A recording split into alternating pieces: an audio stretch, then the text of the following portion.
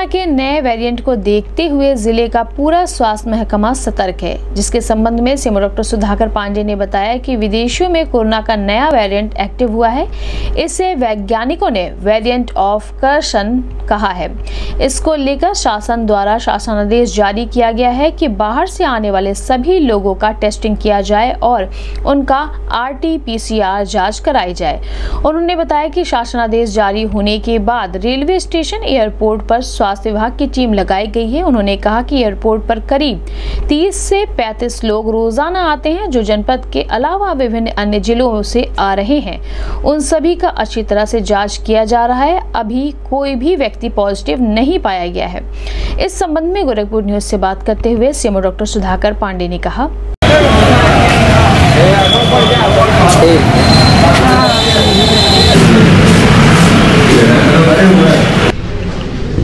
विदेशों में नया वेरिएंट कोरोना का नया वेरिएंट डिटेक्ट हुआ है, जिसको डब्ल्यू ने वेरिएंट ऑफ़ कंसर्न कहा है कि इसको ध्यान देने की ज़रूरत है।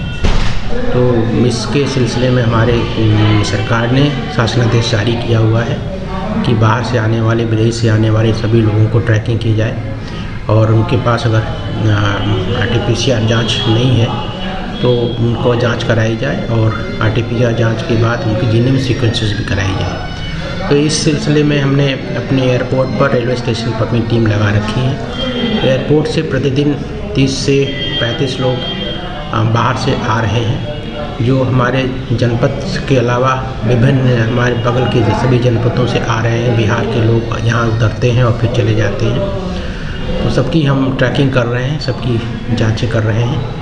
पिछले कई दो तीन हफ़्ते से और दो दिन से हम सघन जांचें कर रहे हैं। कोई भी पॉजिटिव नहीं आ रहा है और सबकी ज़्यादातर एंटीजन भी जाँचें हो रही हैं। अभी दो दिन पहले नेपाल की तरफ़ से एक सिद्धार्थ नगर का रहने वाला व्यक्ति आया हुआ था, जो तकलीफ़ में हमारे जिला अस्पताल में आया था। उसकी जाँच हुई तो एंटीजन पॉजिटिव आया था। उसको सिद्धार्थ नगर के सीएमओ को सूचित कर दिया गया है। वो उसकी R T P C R और जीनोम सीक्वेंस की जाँच कराएँगे।